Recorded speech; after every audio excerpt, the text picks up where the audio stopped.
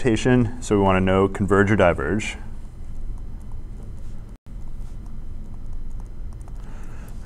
Summation n equals 0 to infinity.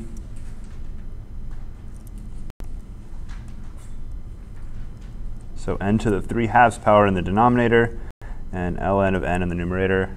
I better not start it at 0. We'll have problems in the numerator and denominator I start at 0. So we'll start at 1 instead.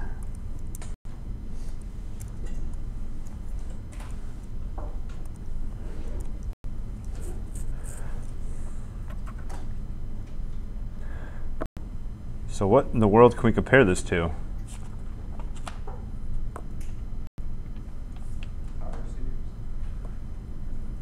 So we could try, it's sort of p-series like in the denominator with the p is 3 halves. So it looks pretty close to a p-series.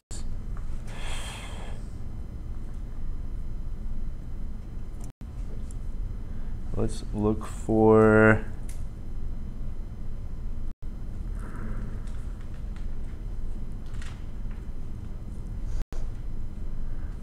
So I do have a note in my notes. Let's write that down. Ln of, of n grows more slowly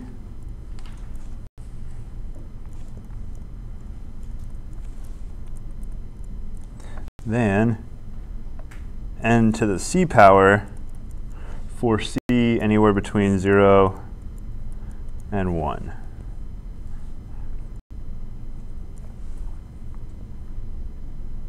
So let's check this right now.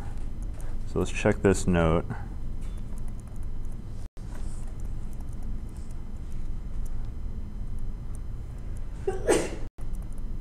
So let's find the limit as n approaches infinity right here. So first of all, what do we get? ln infinity divided by infinity to the c power. Now c is between 0 and 1, so it's going to basically act not necessarily like just like the square root, but it'll act a lot like a root, uh, some root of infinity. Even if it's the one one thousandth root or the thousandth root of infinity, it'll still be infinity. So even if it's a really small number, it's still going to be infinity. So how do we deal with infinity over infinity? L'Hopital's rule. So there, I don't think there's any good algebra, clever algebra that's going to get us out of this situation. So pretty much stuck with L'Hopital's rule. We're taking derivative numerator denominator. Derivative ln is 1 over n. And let's write that as n to the negative first, actually. n to the negative first divided by. What is derivative n to the c? Yep, so it'll be c times n to the c minus 1 power. Now we're going to have to be careful. c minus 1 is going to be negative. So be a little bit careful about this.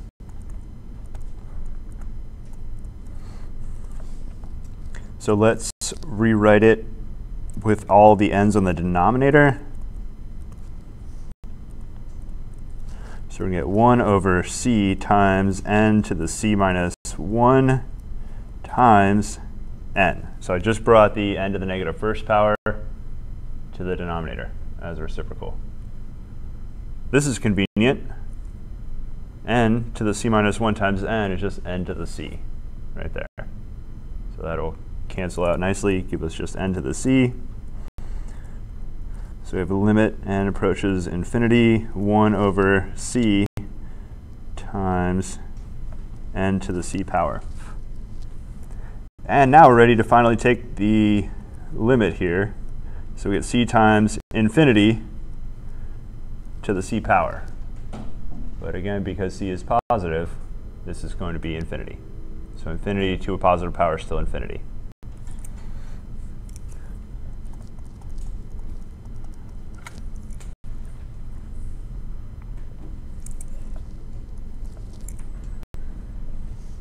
So any questions on that L'Hopital's rule, what we just checked out right there with that limit.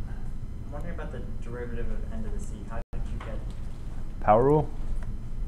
So bring the power down, and multiply by, or and reduce the power by 1. So I don't know what c is, but c minus 1 is 1 less than that number. And then we just combine that to rewrite it as n to the c power. So a little bit strange. There's only one power that doesn't follow the power rule, which is, I think if c was negative 1. No. Every power works for the power rule. It's only the anti-power rule that you have to watch out. So negative 1 in the anti-power rule doesn't work out. That's the natural log. All right, so we figured that ln of n over n to any, now c could be any number between 0 and 1. So we have this factor right here. So this limit is going to equal 0 for any c that I want to use. So this was all a side note right here. It will help us out, but it doesn't, it's not the solution. But let's look at what we want to find. So I want to compare, we're going to do a limit comparison.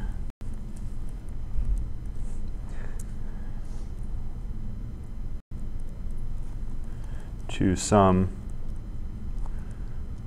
bn. So what does bn need to have? It needs to have an ln n in it.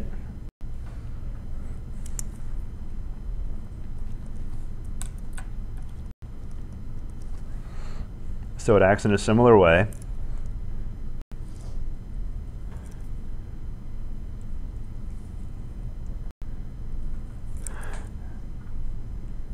Actually, let's go ln. We'll rewrite this n to the 3 halves power.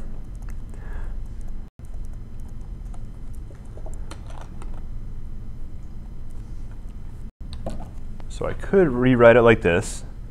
That's one, no, one of those should be square root. There we go.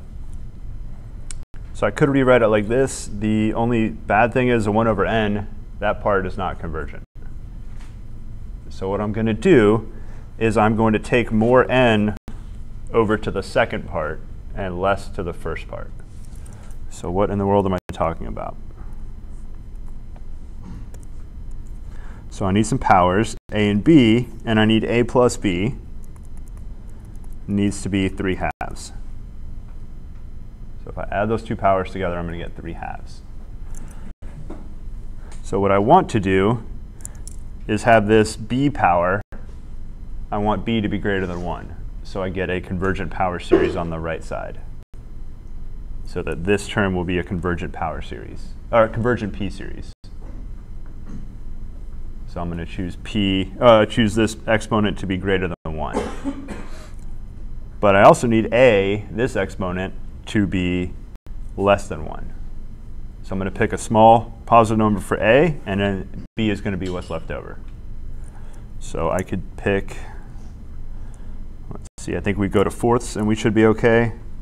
So 1 fourth plus 5 fourths, 3 halves. That looks like it works. So I'll choose 1 fourth for A and then 5 fourths for B.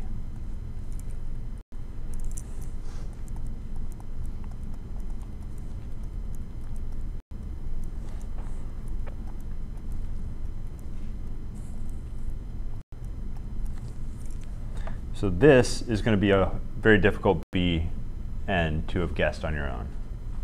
So this BN is not obvious.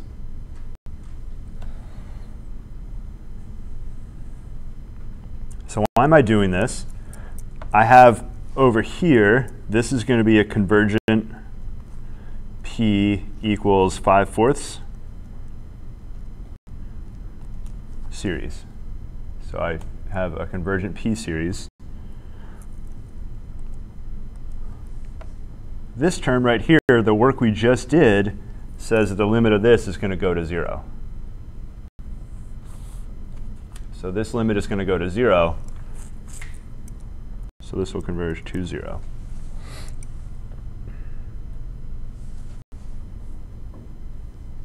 So let's go with bn is 1 over n to the 5 fourths power.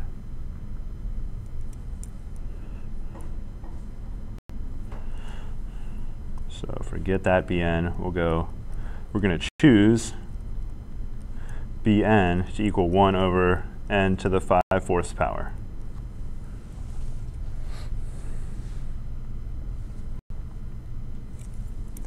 I know that summation 1 over n to the 5 fourths n equals 1 to infinity is a convergent p equals 5 fourths series. So I'm going to compare the limit of an over bn. So the same thing that we do for all the uh, limit comparison tests. So I'm going to make my comparison.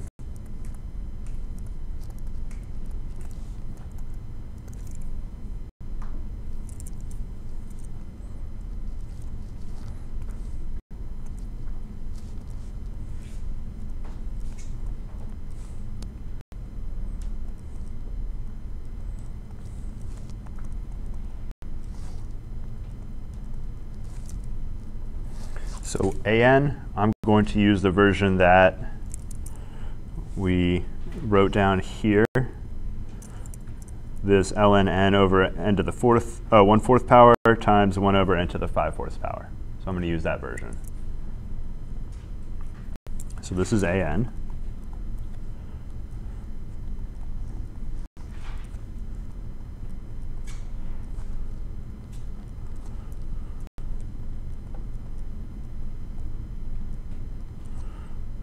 Now what is Bn? Bn is right here. So there's An, and then reciprocal of Bn I'm going to place here, n to the 5 fourths divided by 1. All right, so that is An times Bn.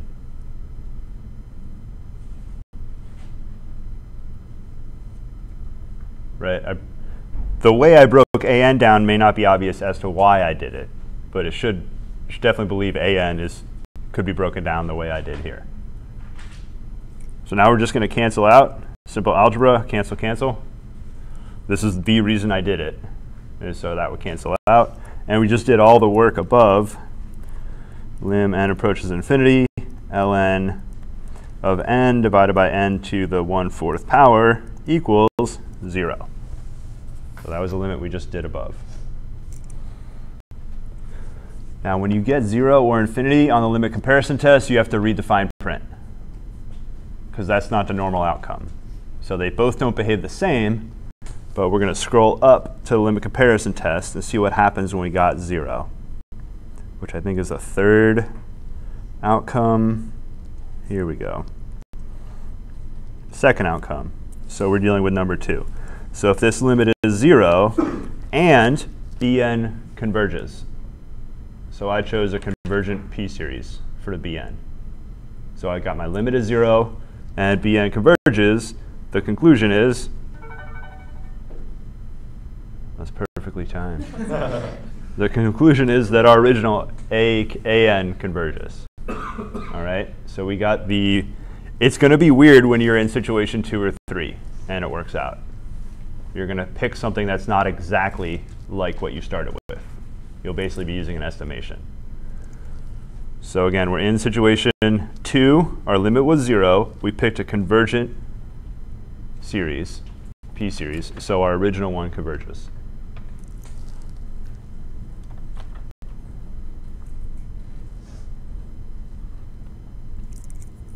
So our comparison was zero by the limit comparison test. I'm going to put a little 2 in here because we're, we're using the part 2. So I got my limit is 0. Up here I got Bn converges. So this is the other part that I needed right here. Bn converges. My limit is 0. So by limit comparison test, the second part, summation An converges.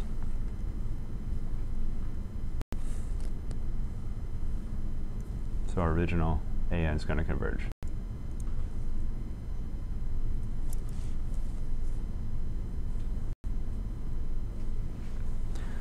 So what you should be wondering is how did I know that was going to happen at the very beginning?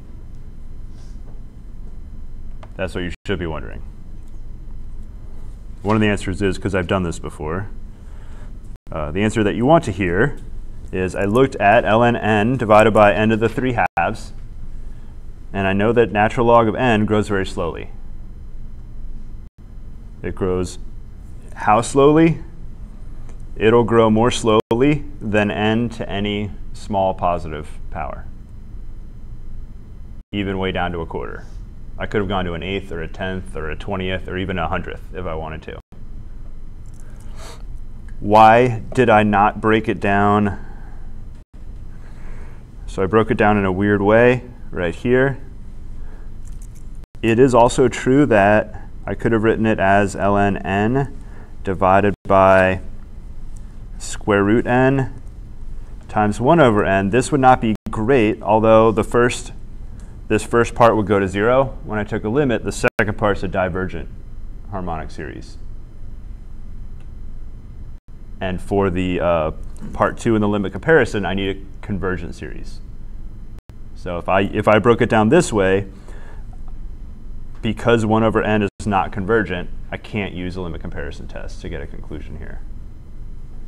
So I had to put more, that's why I said I had to put more n over there and less n over here. So I can put a small amount of n over here as I want, which I just chose a quarter, and then put the extra quarter on, on this side over here. Yes? At what point should we realize that that's case two?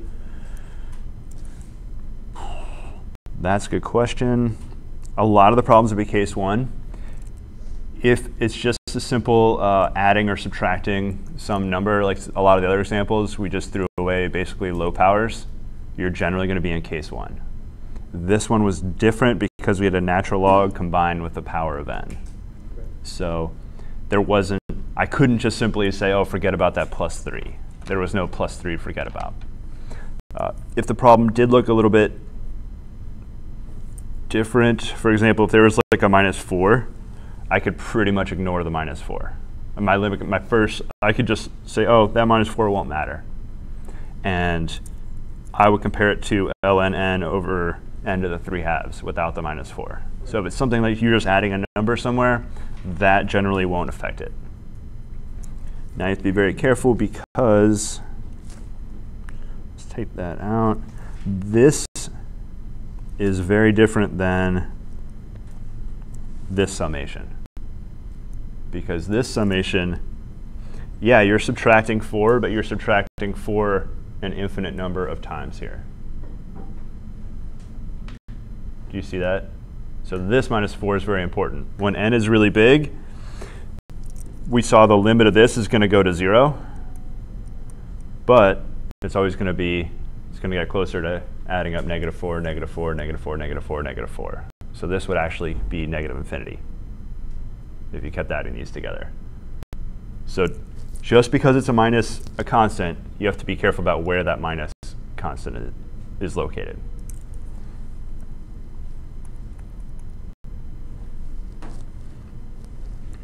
How do you know at the very beginning to compare it to one that converges on this one? Like on the ones from before, was that one over K? So we had examples that were very similar to that, so we chose something similar. A lot of intuition. So I think on your final and your, uh, well, you, will design your last quiz however you want, but on your actual final exam, I think, uh, I plan to choose a limit comparison test problem that would just be, you could solve it by comparing it and getting just case one, or they behave the same. Occasionally on some of the homeworks, you may have to get a little bit more creative. And so this is just an example where uh, I saw the numerator is not very powerful. Natural log does not get big that quickly. It will go to infinity, but it goes more slowly than n to any positive power. So even a super small power like uh, n to the 1 fourth still beats it. So that's the end of comparison tests. So now we have two tests that are, in my opinion, the most widely applicable. So you got integral test, you have limit comparison test. There's nth term test for divergence also, but that's that can only tell you if it diverges. So that's not a general test. The root and the ratio test are the next two. and they're probably the most useful ones. So this is section 10.5, root and ratio.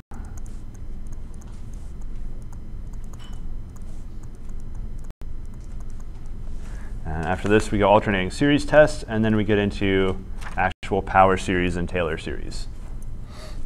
So we'll go ratio test is my personal favorite. We'll do that one first.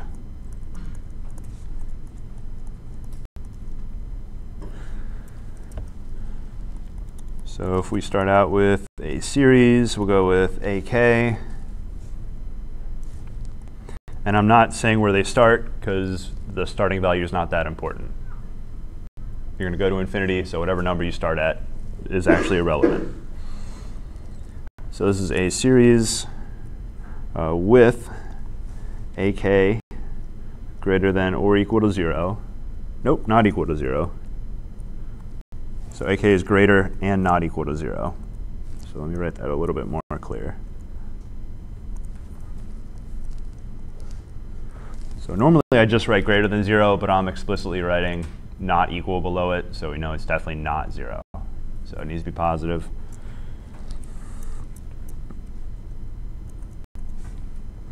So this looks a lot like a P. It's actually a rho. It's pretty much a flipped over, is that a 6? I don't know, it looks a lot like a P, but it just doesn't have a, it's very hunched over. It's like a humpback, hunchback, whatever, P. You can just write P if you really want to. So P is going to be the limit of k approaches infinity of ak plus 1 over ak. So this feels a lot like the limit comparison test, except I'm comparing a term against the one that comes after it. So I'm comparing consecutive terms here. And if rho is greater than 1, diverges. Rho less than 1 converges. And if rho equals 1, inconclusive.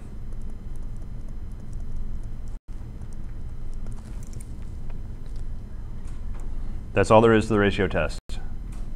You don't have to invent another series, something that's close. You can just look at the ratio of the terms, the nth term and the n plus first term. So this just basically says if your term after your previous term, if that ratio eventually goes to zero, your series will converge. So that's the ratio test. And the root test is very similar. you are allowed to be zero in this root test. So you get, uh, how do we start this one? If summation AK has your terms, they're allowed to equal zero now. So greater than or equal to zero for all K. And I should have written that up, all K.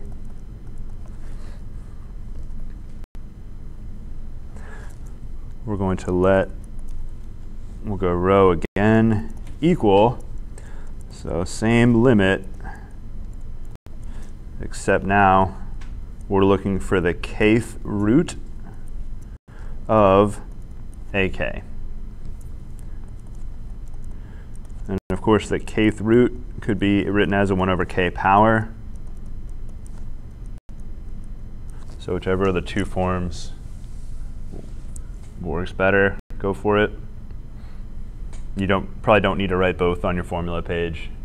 You should know the kth root is a 1 over k power by now.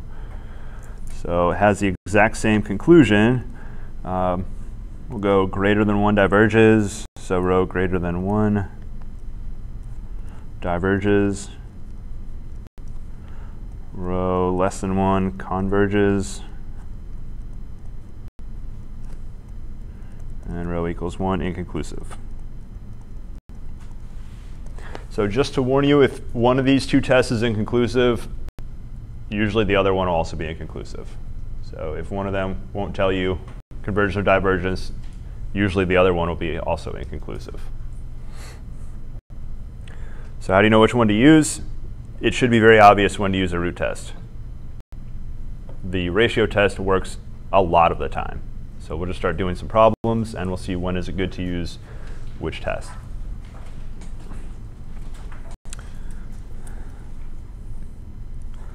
So you're going to have the same issue when you're doing problems of convergence divergence is knowing which test to use. When you're doing your homeworks, you know that the ones from 10.5 can be solved with root or ratio. When I give you a series, I won't say, hey, hint, hint, use the ratio test. So you need to decide which test you want to use. So that is where things are not obvious. So in order to really get practice problems, what you might be a good thing is go inside your textbook, pull random problems from different sections, and then scramble them together so you don't know what sections they came from. And then see, can you go and figure out uh, what method to use. And a lot of these you can, there's more than generally one test that'll work on a series. So don't think, ah, this has to be a ratio test problem because it came from this section. So every example we're just going to do is convergence or divergence.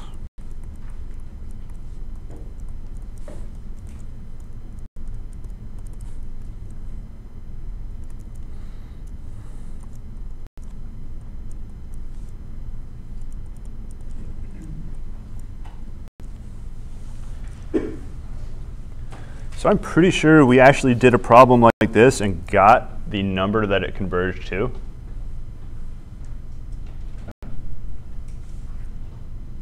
We did this by writing 2 to the n over 3 to the n plus 5 over 3 to the n, which is 2 thirds to the n plus 5 times one third to the n. It's a geometric series plus convergent geometric series plus convergent geometric series means the whole thing converges. So we did a very similar problem to this before. So only one of you are nodding, but hopefully the rest of you vaguely remember this. What I'm not going to do is use geometric series this time around. So yeah, you can absolutely do that and compare it and say it's basically two geometric series added together and they're both convergent because there are is two thirds and one third. So I already see that as convergent. But let's use the root or ratio test to do convergence or divergence here. So when in doubt, go ratio. So let's do the ratio test.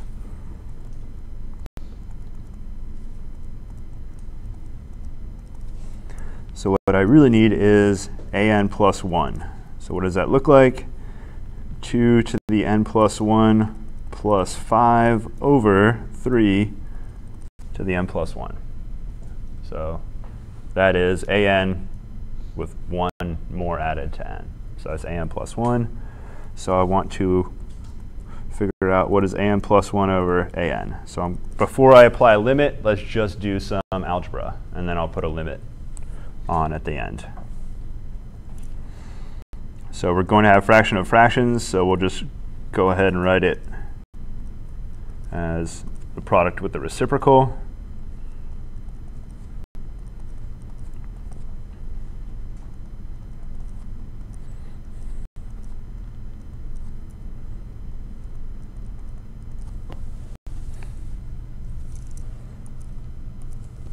So there's an plus 1 times the reciprocal of an. What algebra can I do?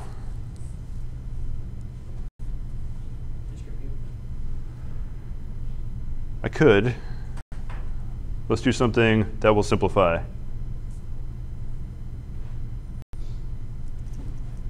Is it algebra 1 question? Maybe algebra 2? I could. Let's look at the threes.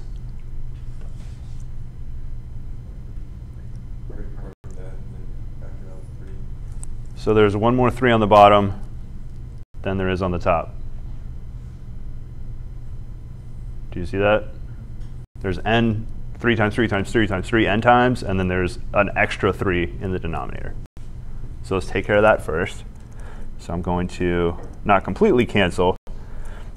So I'll write it as 2n plus 1 plus 5 and 2n plus 5 times 1 third. So I just rearrange the order of the fractions.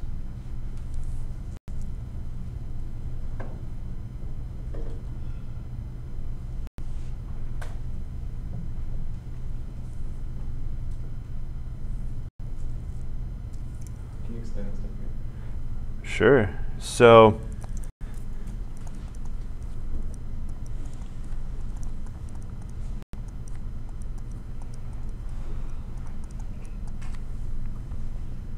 So that's definitely true.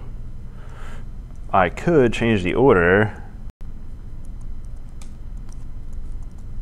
like that.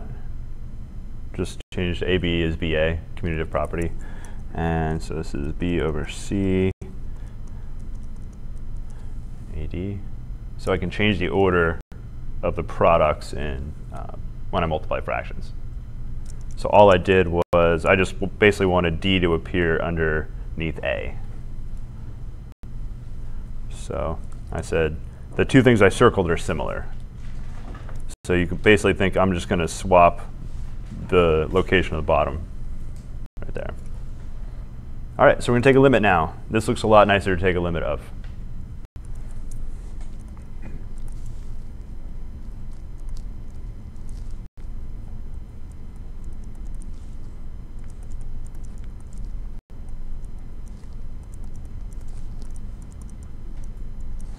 So first things first, one third, that's got no n in it. So we'll move that out front. So that should be pretty obvious. First step.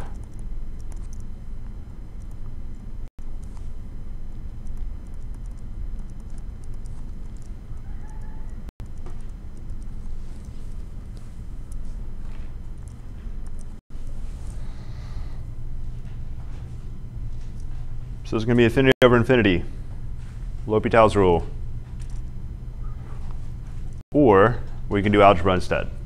So those are generally the two ways to go when you get infinity over infinity. If you can do L'Hopital's rule, you can go for it. Otherwise, algebra is a really good alternative. So I see there's an extra 2 in the numerator. So let's write this as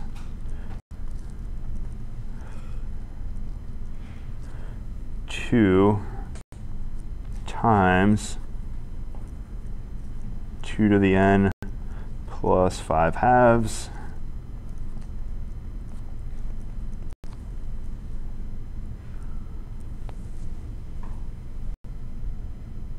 why am I doing this? Because what is not important when I'm looking at this limit, that plus 5 and the plus 5 aren't going to make a very big difference.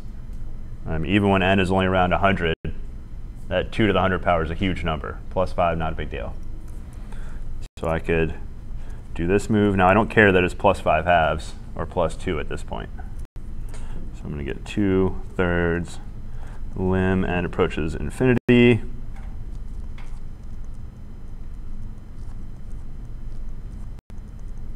Now, unfortunately, L'Hopital's rule, if I apply it, I'm basically going to get back to 2 to the n, 2 to the n, no matter how many times I keep applying it.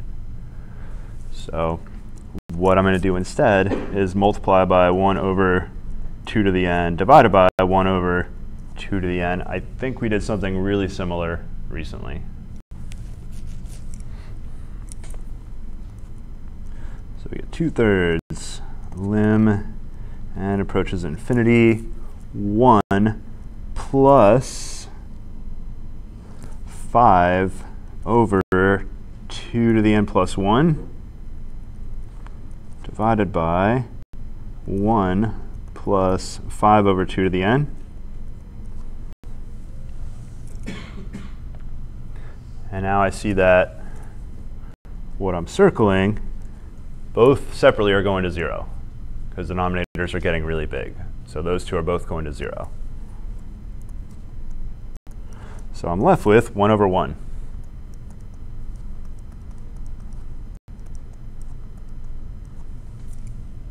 So my final answer is, of the uh, ratio is 2 thirds.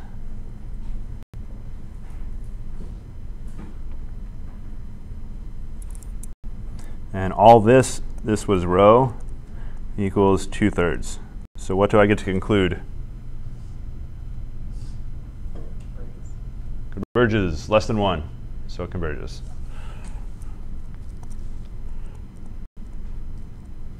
So somewhere you need to tell me ratio test. I think I may have written it at the beginning. Yeah, ratio test. So you can either at the beginning tell me you're using the ratio test, or you could write converges by the ratio test.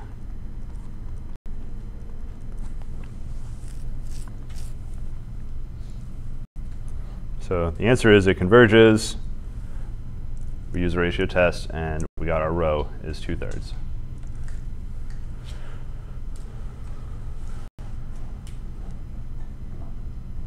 There are lots of ways to show convergence or divergence. So I just said geometric series is a completely separate approach to this problem.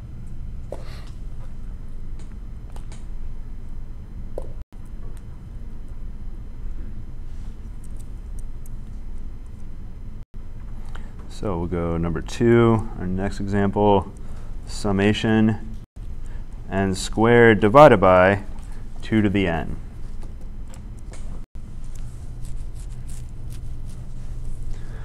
So we got n squared in the numerator and 2 to the n power in the denominator. So we're going to go ratio test again.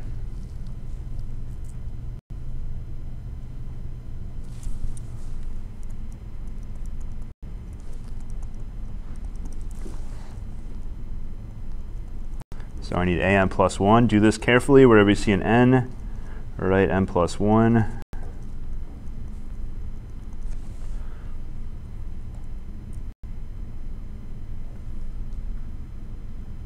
So what should I write so this actually is grouped up properly? Parentheses.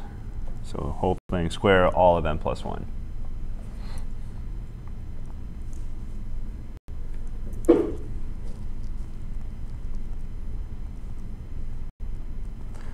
So let's look for the uh, actual ratio part of the ratio test. So we have n plus 1 squared divided by 2 to the n plus 1 multiplied by the reciprocal of an, which is 2 to the n over n squared. So what immediately reduces? 2 to the n plus 1. So 2 to the n plus 1, 2 to the n. So there's one more 2 on the bottom. So we'll get 1 half times, we'll combine the other two pieces.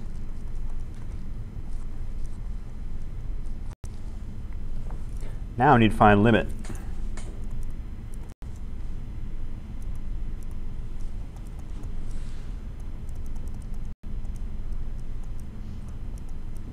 So first things, let's take out the constant 1 half. So it's 1 half times lim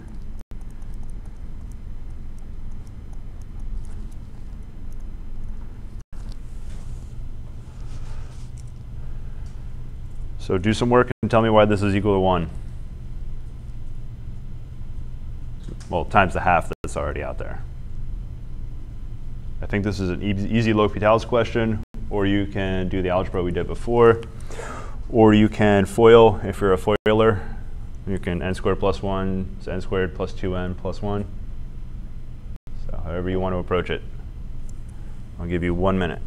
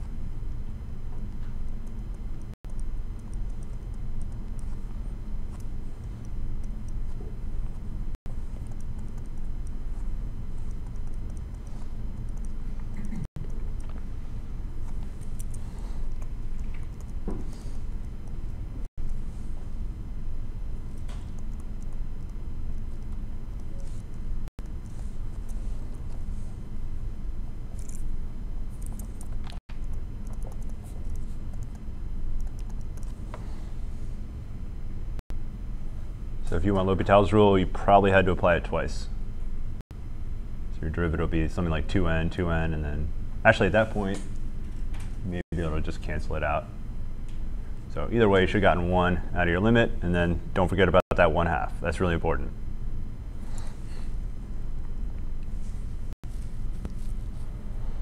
So questions on ratio test.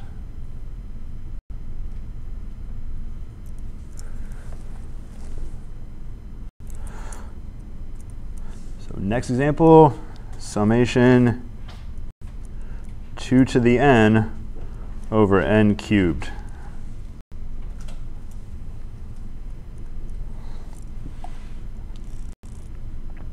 So beginning to end, I want you to finish this, use a ratio test here.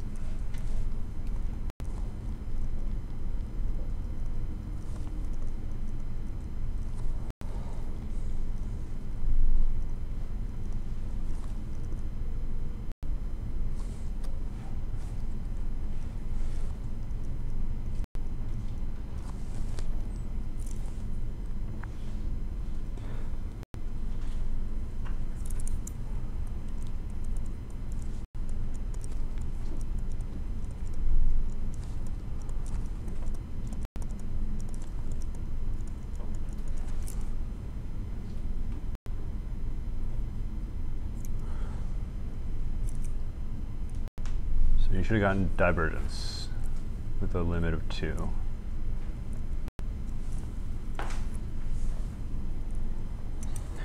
So the way I handled this limit, I could have gone L'Hopital's rule three times in a row. I also could have multiplied this out by itself three times.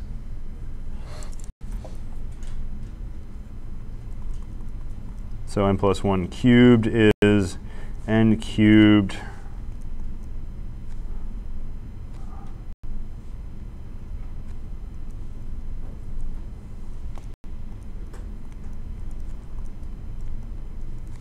n cubed plus 3n squared plus 3n plus 1. If I multiply it out with the binomial theorem, you could multiply it out by itself a couple times to get that also.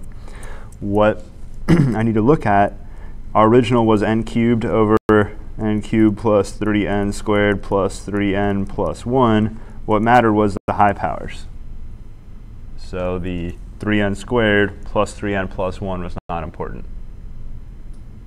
So I can basically look at these two, and then this is going to behave like n cubed over n cubed, which is going to behave like 1. I can only do this when we're approaching infinity or negative infinity. So if we're not going to infinity, I can't do this if we were going limit and approaches 4. So I can't throw away all the low powers if we're not going to infinity.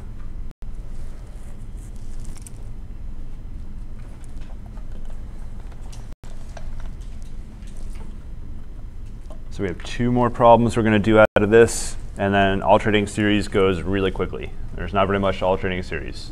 You got three properties you satisfy, your alternating series converges.